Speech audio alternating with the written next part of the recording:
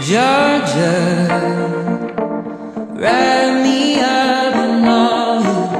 her In